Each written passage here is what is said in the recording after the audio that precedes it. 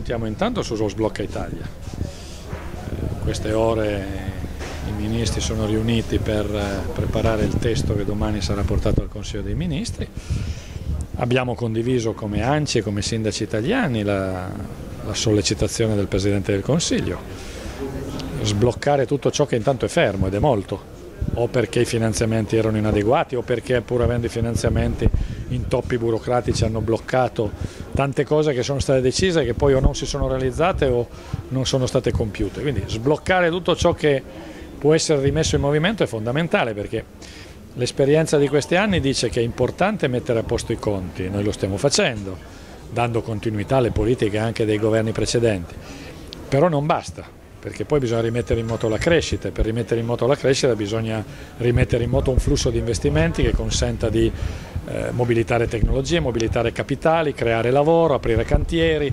E lo sforzo che in queste ore si fa è questo.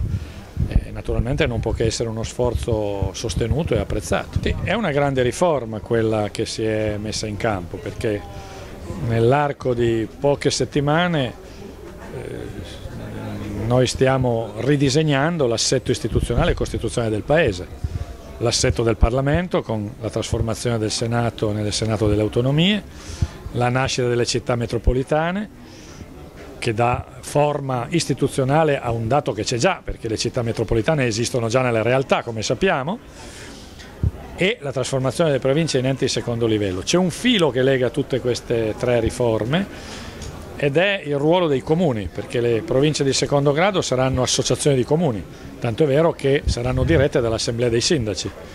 Le città metropolitane sono un'associazione più intensa dei comuni dell'area metropolitana e a guidarlo saranno ancora una volta un consiglio metropolitano costituito di sindaci e di amministratori comunali.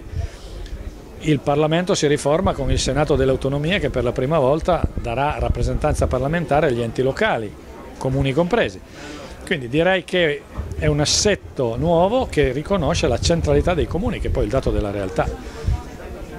Diciamo il 95% delle politiche che investono la vita dei cittadini passa per le scrivanie dei sindaci, quindi mi pare evidente quindi, che si riconosca questa centralità dei comuni e dei sindaci.